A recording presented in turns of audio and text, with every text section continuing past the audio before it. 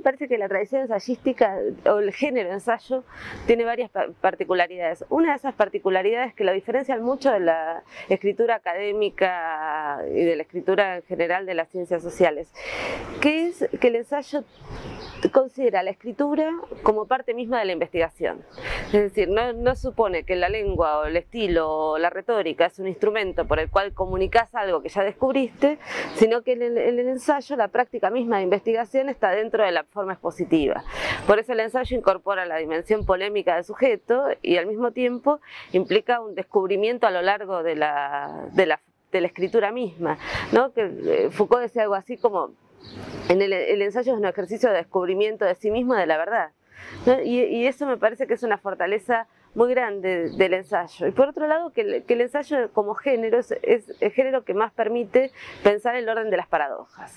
Es decir, el ensayo por su propia eh, constitución estilística permite incorporar el matiz, la negación, la diferenciación interna, la propia lógica de la exposición. Entonces, mientras la, lógica de la escritura académica pide que se determine hipótesis, objetivos y una comprobación de eso y unas fuentes teóricas para comprobarlo, en, el ensayo uno tiene la obligación, digamos, no solo el permiso, sino la obligación de saber que cada afirmación está habitada por una atención interna y que esa atención interna debe ser desplegada. Por eso los grandes ensayistas, los grandes ensayistas en general están muy ligados a la, literatura y uno en un ensayo tiene que, siempre el dilema de saber que hay parte de exposición de textos, de glosa, de trabajo sobre el plano de las ideas, pero al mismo tiempo un fuerte ejercicio estilístico. Y en ese sentido el tercer aspecto que a mí me parece que es muy fundamental del ensayo es que logra, en los grandes ensayos, ¿no? logra eh, producir una fusión entre el objeto que sobre el que está trabajando, las ideas que encuentra en relación a ese objeto con el que está trabajando y el estilo. Entonces uno tiene ensayos alegres, eh, tratando determinados objetos alegres y tiene ensayos en los que la lengua se retuerce en forma de, tensión, en, forma muy trágica, eh, para, para mm, dar cuenta, digamos, para dar cuenta de realidades a las que percibe abismales. Y en ese sentido, la gran tradición, me parece, del ensayo latinoamericano, uno de sus linajes más fundamentales es lo que sería el linaje del barroco. ¿no? Y como, como momento, como forma expresiva, en la cual ese plano de la contradicción, de la tensión y de la negación interna están todo el tiempo siendo contempladas. ¿no?